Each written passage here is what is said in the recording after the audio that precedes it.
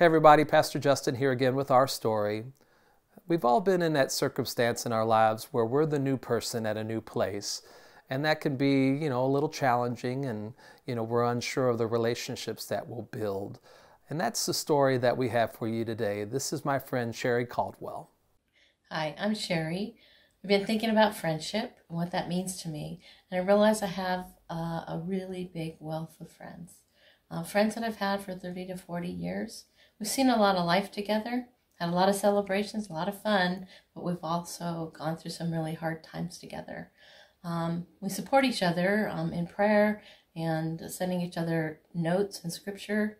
And um, anyway, it's it's something that I cherish and uh, have uh, always enjoyed and feel blessed by.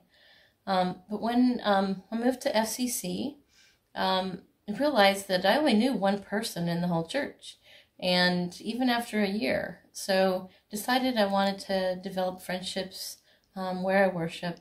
And uh, so Jim and I started going to a small group. And when we first went there, even though we were really warmly welcomed, it felt a little awkward because we were the newbies. And uh, but what I found is that this group was familiar in that they had the same rich history um, that they've shared with one another.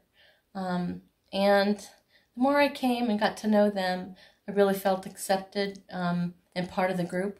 Uh, and the things that I cherish most about friendship, um, they do really well, and that is to support each other.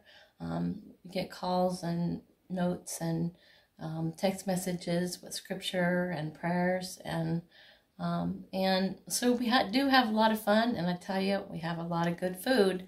Um, but the important part is I feel really supported and um, I'm really thankful for the friendships that I'm developing in FCC.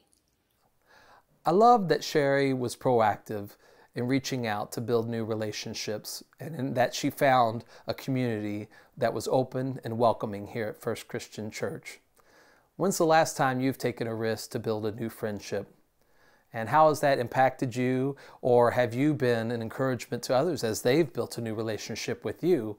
We want to hear your stories of faith and how God is moving in your life. So if you would send me an email at stories at fccnapa.org, we would love to get you scheduled for an Our Story segment. Until next time, I hope you have a wonderful weekend.